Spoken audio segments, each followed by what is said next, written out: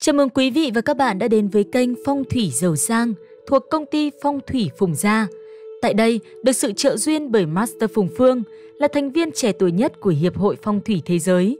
Chúng tôi sẽ mang đến cho quý vị những kiến thức tử vi và phong thủy ứng dụng trong đời sống hàng ngày, giúp quý vị đạt được nhiều thành công và may mắn trong cuộc sống. Đừng quên ấn đăng ký kênh và nhấn vào biểu tượng chuông để không bỏ lỡ bất kỳ số nào của chương trình nhé. Chúc quý vị sức khỏe, ăn khang thịnh vượng, vạn sự như ý. Rất hân hạnh được đồng hành cùng quý vị và các bạn đang theo dõi chương trình Phong thủy giàu sang. Thay mặt ban biên tập chương trình, kính chúc quý khán giả vạn sự như ý, phú quý bình an. Quý vị thân mến, nếu khi còn trẻ người ta thường cho rằng việc đuổi theo đam mê, thực hiện được ước mơ của bản thân là điều quan trọng nhất, thì có lẽ đến nửa sau cuộc đời, ai nấy đều mong muốn mình có thêm nhiều thời gian để tận hưởng cuộc sống. Tuy nhiên, ai rồi cũng sẽ phải già đi, quy luật sinh lão bệnh tử là điều khó tránh khỏi. Có người sống thọ trăm năm nhưng cũng có người đoàn thọ. Chưa kịp làm hết những điều mà mình mong muốn đã phải từ giã cõi trần. Xong, một điều mà chúng ta thường thấy đó là các cụ già sống lâu trăm tuổi thường có khuôn mặt phúc hậu, hiền từ. Điều này được các chuyên gia tử vi luận giải rằng có 11 nét tướng của người sống rất thọ, ai may mắn sở hữu thì sống đến bắt đầu. Những người này thường tốt số về sau, càng già càng giàu có, con cháu vui vầy yêu thương, và đó là những nét tướng nào, tất cả sẽ được tiết lộ trong chương trình ngày hôm nay. Hãy theo dõi để biết được, nhờ vẻ ngoài có thể nhận biết được người nào sống thọ không quý vị nhé. Đặc điểm thứ nhất, người trường thọ có khuôn mặt dài, tam đình cân đối. Những người sống thọ thường sở hữu khuôn mặt dài tam đình, trên ngũ quan có tỷ lệ cân đối. Tam đình ở đây là được chia là thượng đình, trung đình và hạ đình. Trong đó, khoảng cách từ trán đến lông mày là thượng đình, khoảng cách từ lông mày xuống mũi là trung đình, còn khoảng cách từ mũi xuống cằm là hạ đình. Nếu trong tam đình mà trung đình và hạ đình hơi dài thì cũng có thể luận tướng mặt người trường thọ. Song nếu trung đình hoặc hạ đình ngắn hay trung đình dài, hạ đình ngắn thì đều không được hưởng phúc thọ lâu dài. Đặc điểm thứ hai, người có đôi mắt dài. Đôi mắt là cửa sổ của tâm hồn, từ đôi mắt ta có thể nhìn thấu nội tâm của một con người. Đôi mắt cũng là nơi thể hiện giàu sang phú quý. Tướng mắt tốt một thì vận thế còn tốt gấp chục lần. Tướng mắt tốt chắc chắn phải là đôi mắt đẹp, bởi mắt thuộc về tâm của con người. Xem tướng mắt, người có quý tướng thì mắt phải dài, phải sáng và có thần, khí huyết vượng, bởi tuổi thọ con người không thể thiếu được sự vận hành lưu thông của khí huyết. Vì thế mà người ta nói rằng người mắt dài thì tuổi thọ cũng dài là vậy. Đặc điểm thứ ba, lông mày dài. Tướng sách số có viết, tàn tinh vu cốt, hiện tinh vu mày. Vì thế, muốn biết sức khỏe tuổi thọ của một người thì nhìn vào tướng lông mày của người đó là có thể đoán định được. Người có đôi lông mày dài thì thần khí mạnh mẽ, tinh thần thoải mái, sức khỏe dồi dào là điều cơ bản để có được tuổi thọ lâu dài. Nếu trong khoảng 43 đến 52 tuổi mà lông mày tự nhiên mọc thêm vài sợi rất dài trên 3 cm thì đó là lông mày thọ tướng, thể hiện tinh lực dồi dào, sống lâu trăm tuổi. Đặc điểm thứ tư, người sống thọ có đôi tai khỏe mạnh. Tai đại diện cho thận, người tai cao thì thận cao mà tai thấp thì thận cũng thấp. Người tai lớn có thận lớn, tai nhỏ có thận nhỏ. Tai cứng thì thận khỏe, tai mềm thì thận yếu, tai mỏng thì thận hư. Người có đôi tai dài thì chức năng của thận sẽ rất tốt, tinh lực mạnh mẽ, sức khỏe dồi dào, có tuổi thọ cao. Đặc điểm thứ năm, nhờ vào nhân trung đoán biết tuổi thọ của con người. Trong tử vi học, nhân trung luôn là vị trí tượng trưng cho tuổi thọ của con người. Nhìn nhân trung là biết mạng yểu hay thọ. Nhân trung tối kỵ là vừa phẳng vừa ngắn. Với nam giới thì kỵ nhân trung không có góc nhọn. Kỳ thực, nhân trung con người không có bất cứ tiêu chuẩn nào để đo độ ngắn dài. Người ta thường lấy tổng thể khuôn mặt để xét xem người này nhân trung như vậy là dài hay ngắn. Thông thường nhân trung phải có góc nhọn rõ ràng và sâu lõm xuống. Từ phía chính diện phải nhìn rõ hình dáng của nhân trung. Nhân trung dài hơi rộng và có thịt thì được xem là người trường thọ. Nhân trung của con người cũng giống như kênh rạch vậy, chỉ khi được đào sâu mới có thể vận hành thông suốt. Tương tự, nhân trung phải sâu, thân thể mới khỏe mạnh. Đặc điểm thứ sáu, người sở hữu nếp nhăn song pháp lệnh, kéo dài từ mũi xuống miệng. Song pháp lệnh là hai nếp nhăn kéo dài từ hai bên cánh mũi xuống tạo thành những đường rãnh bao quanh từ mũi xuống miệng. Nếu trên khuôn mặt bạn có hai nếp nhăn này, có thể nó sẽ ảnh hưởng phần nào đến thẩm mỹ, khiến ngoại hình có phần già nua, song đây được coi là thọ đới. Tức dây đai trường thọ, người nào may mắn có được hai nếp nhăn này thì tuổi thọ cực cao, sống lâu trăm tuổi. Đặc điểm thứ 8, xương chẩm nhô cao nhưng phần thịt xung quanh phải đầy đặn. Vị trí của xương chẩm ở chính giữa phía sau đầu. Bởi vì lúc ngủ phần xương này tiếp xúc với gối nên được gọi là xương chẩm. Phần xương này nhô lên nhưng không được quá lộ mà thịt sau gáy cũng phải đầy đặn thì người có đặc điểm như vậy mới thường sống lâu. Trong cuốn Thái ức chiếu thần kinh có viết xương chẩm nhô lên mà không lộ, xương thịt cân đối thì chủ nhân phú quý và trường thọ chính là để chỉ người có phần xương chẩm đầy đặn, thường có tuổi thọ cao. Đặc điểm thứ 9, người hai cầm đa phần sống lâu, trán đầy đặn, cầm hơi chết hay thiên đình đầy đặn, địa cát ngay ngắn. Những câu nói này thường dùng để hình dung những người có phúc tướng. Cụ thể, những người có các đặc điểm như trán đầy đặn, khoảng cách giữa hai đầu lông mày tương đối nhỏ, cầm hơi chết ra trước, thường có hậu vận tốt, Địa cát đại diện cho đời sống vật chất và điều kiện gia đình về thời trung niên của chúng ta, cầm đầy mà tròn trịa thì cả đời áo cơm không lo, hậu vận có phúc báo.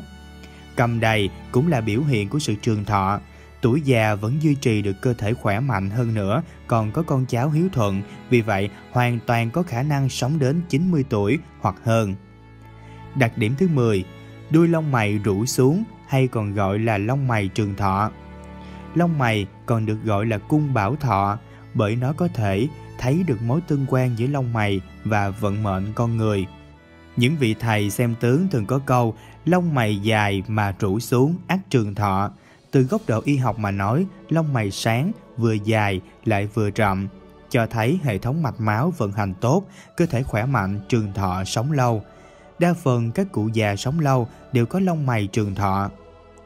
Và đặc điểm cuối cùng là trong tai có lông thọ.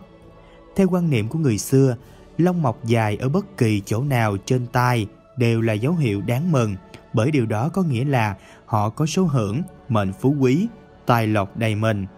Họ là người thông minh lanh lợi ngay từ khi sinh ra, biết nhìn xa trông rộng, nắm bắt thời cơ, nên không sớm thì muộn, sự nghiệp cũng thành công rực rỡ.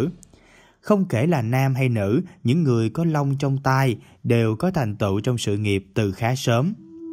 Không chỉ có tướng phát tài phát lộc, những người có long mọc trong tai còn được quý nhân phù trợ, có số trường thọ. Khi gặp khó khăn gì, họ đều được người khác giúp đỡ, từ đó gặp nguy hóa an. Ngoài ra, theo nhân tướng học, trong cuộc đời của người có lông mọc ở tai sẽ trải qua một lần bệnh rất nặng. Nếu vượt qua được, họ sẽ sống rất thọ. Quý vị thân mến, vừa rồi là 11 nét tướng thường gặp ở các cụ ông, cụ bà đã ngoài 80 và nếu như sở hữu các nét tướng này thì tin chắc rằng bạn sẽ có nhiều thời gian để tận hưởng cuộc sống. Ngược lại, cũng có không ít những người đau ốm bệnh tật quanh năm. Thậm chí có những người chỉ mới đôi mươi nhưng vì thiếu đi phúc phần mà duyên trần chấm dứt xa lìa cõi đời. Theo sách tử vi ghi lại, có những đặc điểm xuất hiện trên gương mặt mà chỉ cần nhìn vào, chúng ta có thể nhận biết rõ về người đoạn mệnh chết yểu và điều này sẽ được tiết lộ trong phần tiếp theo của video. Mời quý vị và các bạn cùng theo dõi. Thứ nhất, người có khí sắc kém, ánh mắt dao động vô định.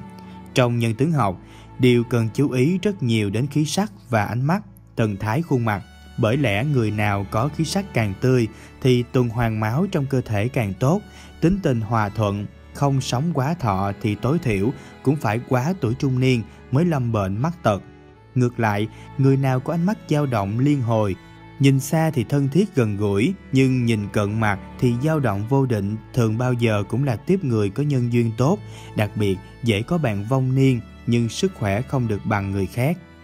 Người như vậy, tuy biểu hiện không bồn chồn cử chỉ đỉnh đạt, nhưng thần thái lúc nào cũng lo lắng bất an, thiếu tự tin, không dứt khoát. Nếu khí sắc kém, da không hồng nhuận thì dễ có bệnh về tiêu hóa hay bị ngộ độc thực phẩm hoặc trúng độc nặng mà qua đời. Thứ hai, người có đôi mắt lòng trắng nhiều hơn lòng đen, thở hồng hộc không ra hơi. Người nào có lòng trắng nhiều hơn lòng đen tức là con ngươi chỉ chiếm 1 phần 3 đến 1 phần 4 khoảng không gian trong mắt, ắt là kẻ khác cha mẹ, không được sống gần anh chị em họ hàng, gia đình ruột thịt. Nếu họ còn có kiểu thở hồng hộc không ra hơi, thở rít lên từng hồi khó nhọc, dù không có bệnh gì về mũi, nghe qua như tiếng lấy hơi hít sáo, thổi kèn, thì ác dễ bị bệnh về đường hô hấp mà qua đời. Thứ ba, người mặt nhỏ, mũi thấp, ăn tham hơn chuột. Theo các chuyên gia phong thủy cho biết, ngoài xem tướng mặt, còn phải xem cả hình dạng đầu, tỷ lệ ngũ quan trên gương mặt. Người nào dạng mặt nhỏ dạng hình như trái táo ta, hai đầu thuôn hẹp, phần giữa phình rộng, mặt gầy trơ xương, mũi nhỏ từ sống mũi đến cánh mũi nhưng lại khá thấp, sát miệng.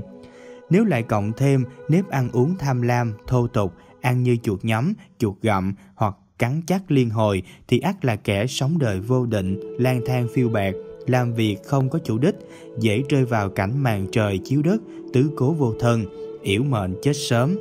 Thứ tư, người có răng hô vẩu, giọng nói rít.